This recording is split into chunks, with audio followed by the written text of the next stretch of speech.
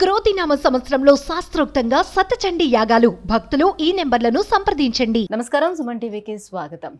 ప్రస్తుతం మనతో పాటు ఉన్నారు ప్రముఖ జ్యోతిష శాస్త్ర నిపుణులు బ్రహ్మశ్రీ సుభాష్ శర్మ గారు. గురుగారు నమస్కారం. గురుగారు ఈ హోలీ పండుగ రోజున గ్రహణం ఏదో ఉందని అంటున్నారు. ఈ గ్రహణం వల్ల ఏమైనా ఇబ్బందులు ఉంటాయా? ఎటువంటి దుష్ఫలితాలను ఇస్తుంది ఈ గ్రహణం తెలియజేస్తారా? తప్పకుండా తెలియజేస్తానండి. ముందుగా ప్రేక్షకులందరికీ శ్రీమాత్రే నమ. శ్రీ గురుభ్యో నమ. జ్ఞానినాంనపి చేతాన్సి దేవి భగవతీ హిసా బలాయ కృష్ణమోహాయ మహామాయ ప్రయశ్చతి.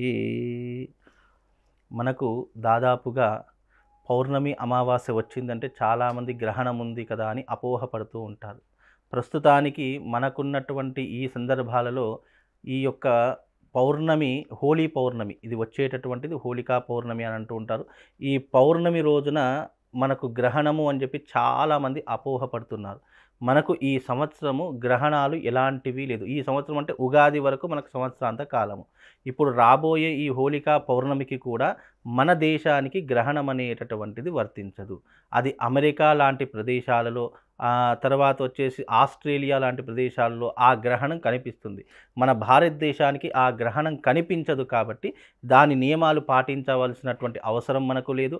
భోజనాది క్రతువులు కానివ్వండి అలాగే నిద్రపోయే వ్యవహారాదులు కానివ్వండి అలాగే మనము ఇల్లు కడుక్కోవాలి దర్భ వేసుకోవాలి ఇలాంటి ఆలోచనలు ఇలాంటివి పెట్టుకోకుండా ఉంటే చాలా ఉత్తమమైనటువంటి పని. ఎందుకంటే గ్రహణం అనేటటువంటిది ఎక్కడ కనిపిస్తుందో ఆ ప్రాంతీయం వాళ్ళు మాత్రమే దాని యొక్క నియమాలు పాటించాలని జ్యోతిష శాస్త్రం చెప్పింది. ఆ గ్రహణం మూలంగా మనకి ఏమైనా దుష్ఫలితాలు ఉంటాయా? అంటే మన భారతదేశంలో కనిపించడం లేదు కాబట్టి మనకు ఎలాంటి ఇబ్బంది లేదు. మనం ఏ నియమాలు పాటించవలసిన అవసరం అయితే లేదు. ఇప్పుడు రాబోయేటటువంటిది కూడా చంద్రగ్రహణం. కాకపోతే భారతీయులు అన్ని దేశాలలో విస్తరించి ఉన్నారు కాబట్టి అక్కడ కూడా ఉన్నారు కాబట్టి మన సనాతన ధర్మం ఏం చెప్పిందంటే భారతీయుల సంస్కృతి అనేటటువంటిది గొప్పనైనటువంటి సంస్కృతి. ఎవరైతే భారతీయులు ఆయా దేశాలలో ఉన్నారో అక్కడ మాత్రము గ్రహణ నియమాలు పాటించాలి అని శాస్త్రం. అదే అమెరికా వాళ్ళు అనుకోండి ఇలాంటి నమ్మకాలు ఏమీ ఉండవు. వాళ్ళకి అసలు గ్రహణం అంటే ఏంటో కూడా తెలియదు కానీ మన భారతదేశంలో ఉన్నటువంటి వాళ్ళు మన స- సనాతన ధర్మం పాటించేటటువంటి వాళ్ళు మాత్రం అమెరికాలో ఉన్నటువంటి వాళ్ళు కానివ్వండి ఆస్ట్రేలియాలో ఉన్నటువంటి కానివ్వండి నార్త్ అమెరికా వాళ్ళు కానివ్వండి ఇలాంటి ప్రదేశాలలో ఉన్నటువంటి వారు భారతీయులు ఈ గ్రహణ నియమాలను పాటించాలి. ముఖ్యంగా గర్భవతులు కానివ్వండి అలాగే చిన్నపిల్లలు ఉన్నటువంటి వ్యవహారాదులు కానివ్వండి అలాగే భోజన క్రతువులు కానివ్వండి ఇలాంటి వాళ్ళు గ్రహణ నియమాలు పాటించాలని జ్యోతిష శాస్త్రం చెప్పింది. కనుక ఆ దేశాలలో ఉన్నటువంటి వాళ్ళు గ్రహ నియమాలు గ్రహణ నియమాలు పాటించాలి తప్ప మన భారతదేశానికి మాత్రం ఎలాంటి గ్రహణము లేదు. కనుక దీని నియమాలు పాటించవలసిన అవసరం అయితే ఏం లేదండి. గురుగారు అసలు హోలీ పండుగను ఎందుకు జరుపుకోవాలి? హోలీ అనేటటువంటిది సనాతన ధర్మంలో దానికి పురాణ గాథలు మూడు రకాలుగా చెప్పడం జరిగింది. శివుడు పార్వతీదేవితో చెప్పినటువంటి అంశం ఒకటి ఉంటూ ఉంది. అలాగే భక్త ప్రహ్లాదుని యొక్క కథ కూడా ఒకటి ప్రాచుర్యంలో ఉంది. అలాగే దీనిని ఈ యొక్క శ్రీకృష్ణుడి అంటే ద్వాపర యుగంలో శ్రీకృష్ణుడి విధానంతో కూడా చెప్పినటువంటి విధానం ఒకటి ఉంది అంటే మూడు విధానాలు ఒక్కొక్క విధానం ఒక్కొక్క విధంగా చెప్పడం జరిగింది. అంటే ఇప్పుడు మనకు లోకరక్షకుడైనటువంటి వాడు శంకరుడు. జగత్తుకి తండ్రి అయినటువంటి వాడు శంకరుడు కాబట్టి కైలాసగిరి కైలాస పర్వతం వైపు మన్మధుడు ఆ, ప్రయాణించేటటువంటి సమయంలో శివుడు రతి క్రీడలో ఉంటూ ఉంటాడు. ఆ సమయంలో ఆ మన్మధుడు అనేటటువంటి వాడు శివుడి వైపు మనమ మన్మథ బాణం వదిలేసరికి శివుడి యొక్క కోపానికి కారకుడైనటువంటి వాడు మన్మధుడు కాబట్టి ఆ యొక్క కోపకారకం చేత మన్మధుడిని అక్కడే భస్మం చేస్తాడు కాబట్టి దానిని కామదహనము అని అంటూ ఉంటాము. మళ్ళీ శివుడిని ప్రత్యక్షం చేసుకొని మళ్ళీ ఆ కా మన్మధుడి యొక్క భార్య అయినటువంటి వారు ఆ యొక్క శివుడిని వేడుకోగానే ఏం చేస్తాడు శివుడు అని అంటే మళ్ళీ శాంతమూర్తి అయిపోయి ఆ యొక్క మన్మధుడిని మళ్ళీ తిరిగి బ్రతికిస్తూ ఉంటాడు. కానీ అది బ్రతికించేటటువంటి సమయం ఎలా ఉంటుంది అంటే భౌతిక రూపం కాకుండా కోరిక రూపంలోనే మన్మధుడు బ్రతికి ఉంటాడు అనేటటువంటి అంశాన్ని తెలియజేశాడు. అందుకే ఈ యొక్క కామము అనేటటువంటిది కోరిక రూపకంగానే ఉంటుంది. అందుకే ఈ విధమైనటువంటి విధానం. అంటే ఈ కామదహనం అనేటటువంటిది కూడా హోలీ రోజున జరిగింది కాబట్టి ఈ యొక్క హోలీ అనేటటువంటి జరుపుకుంటారు. అది పురాణ గాథ. అదే రకంగా హిరణ్యాక్షుడు ప్ర- భక్త ప్రహ్లాదుని యొక్క తండ్రి హిరణ్యాక్షుడు ఉన్నాడు. ఆ హిరణ్యాక్షుడు విపరీతమైనటువంటి శ్రీహరి యొక్క ద్వేషకారకుడు. అంటే దేవతలను స్మరించిన విష్ణుమూర్తిని తలిచిన వాళ్ళను అక్కడికక్కడే చంపేసేటటువంటి వాడు. అయితే అతనికి పుట్టి పుట్టినటువంటి వాడు భక్త ప్రహ్లాదుడు అతడు పరమ భక్తుడు శ్రీహరికి విష్ణుమూర్తికి పరమ భక్తుడైనటువంటి వాడు. కానీ అతనిని ఎలాగైనా సరే ఆ హరినామస్మరణం మానిపిద్దామని చెప్పేసి ఎన్నో రకాలైనటువంటి ప్రయత్నాలు చేశాడు. అయితే ఆ సమయంలో హోలిక అనేటటువంటి రాక్షసిని పిలిపించి ఈ భక్త ప్రహ్లాదుణ్ణి అగ్నిగుండములో వేసేసేయు అని చెప్పేసి అంటుంది. కానీ హోలికకు ఎన్నో రకాలైనటువంటి వరాలు ఉన్నాయి ఏమిటి అంటే నువ్వు అగ్నికి ఎప్పటికీ కూడా కాలిపోవు అనేటటువంటి వరం ఉంది అది ఎప్పుడు?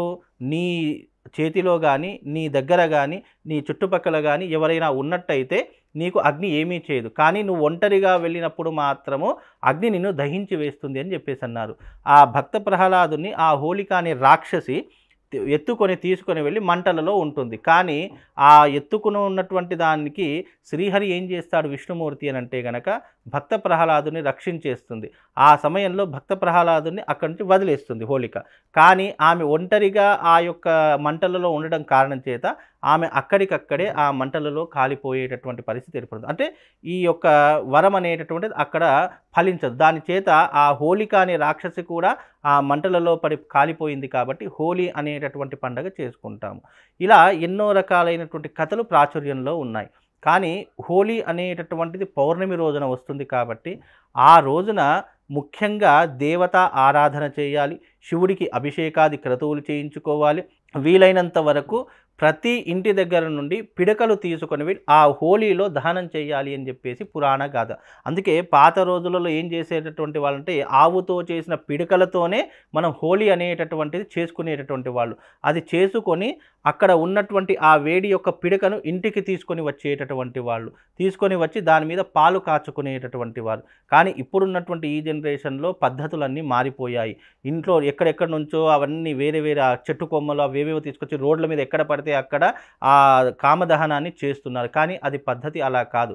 కామదహనం అనేటటువంటిది ఎప్పుడు ఆచరించాలి అంటే స్థలశుద్ధి చేసుకొని అక్కడ చక్కగా ఆవుతో చేసినటువంటి పిడకలను మాత్రమే పేర్చి కామదహనం అనేటటువంటిది చేయాలి. అలా చేసినప్పుడే దానికి ప్రాధాన్యత అనేటటువంటిది ఏర్పడుతుంది.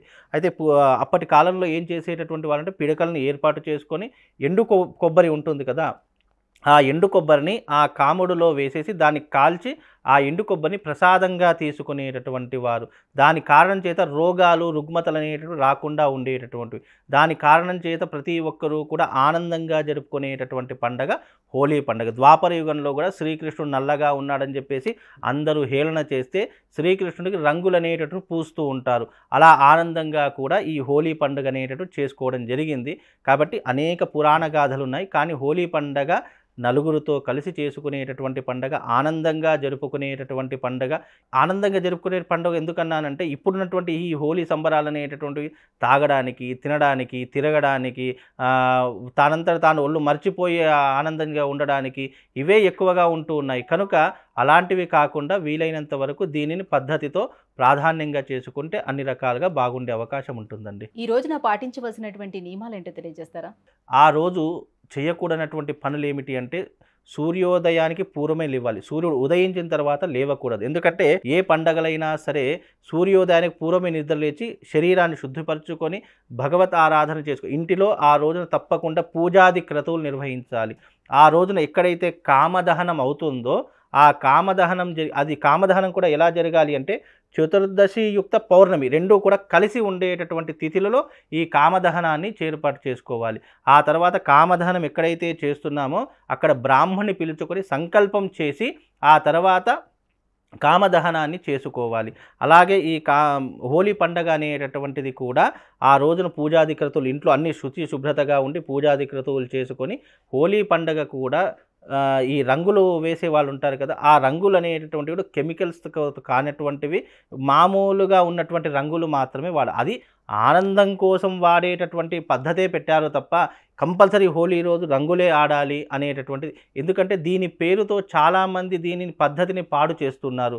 ఎంతోమంది ఆ గుడ్లు అనేటటువంటి కొడుతున్నారు. లేదా కొంత కొంతమంది నీళ్ళలో ఉండాలని చెప్పేసి నీళ్ళలో ప్రాణాలు కూడా కోల్పోయినటువంటి వాళ్ళు ఉన్నారు. అంటే తాగిన మైకంలోనో ఇంకా ఏదో ఒక సందర్భంలోనో ఎన్నో రకాల ప్రమాదాలు జరిగేటటువంటి సందర్భాలు కూడా ప్రతి సంవత్సరం వింటూనే ఉన్నాం చూస్తూనే ఉన్నాం.